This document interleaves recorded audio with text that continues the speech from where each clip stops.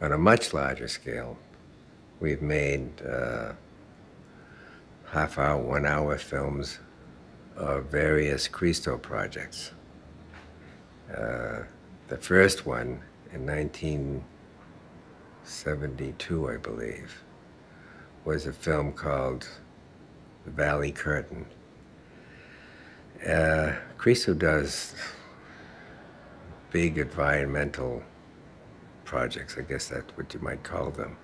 What he does is he, he makes drawings uh, of the of the project before they actually take place. Um, uh, and, and these drawings he sells, it gets enough for the sale of the drawings that he, that he can put millions of dollars into these big environmental projects. Uh, the first one that we filmed um, was called The Valley Curtain.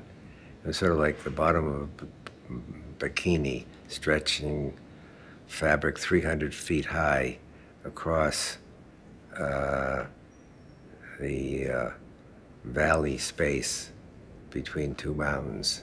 And um, uh, one of the high points of the film is that the workers, as the project is coming to an end, they finally understand what it's all about.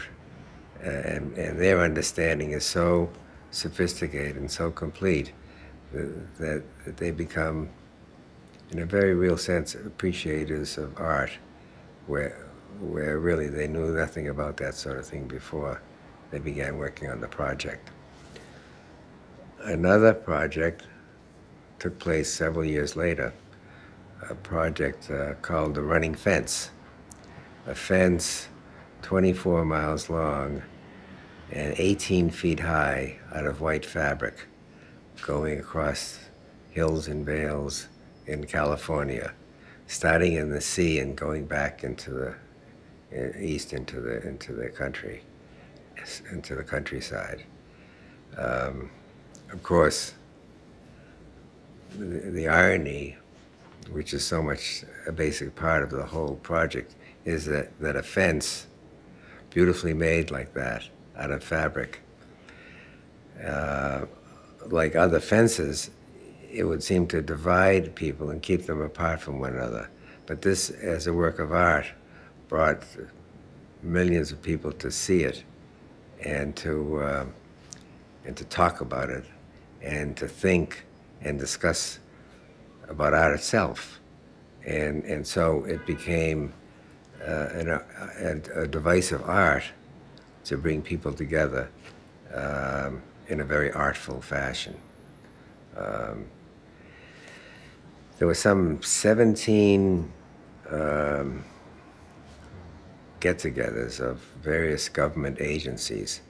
Uh, try, deciding on whether to allow the um, project to take place uh, that we filmed. And so the Christos couldn't get started in, on doing it until all these hearings took place. And uh, as more than one person has commented uh, upon seeing the film, the, film is a, uh, a uh, most perfect example of what democracy is all about. Um, it's interesting that starting out with a very simple concept and um, believing it to the extent that the, the, the, these two people, Christo and his uh, wife Jean Claude, uh, to the extent that they um, put their all their savings and all their time into these projects uh, with a total belief, which contradicts many a, a, a, skeptic, you know, that it's the right thing to do.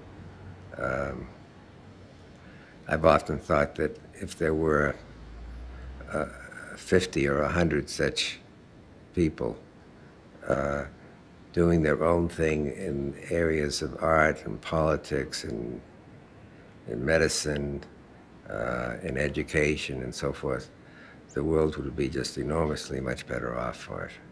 So uh, it's quite some accomplishment to have made these films which broadcast the good work of these people.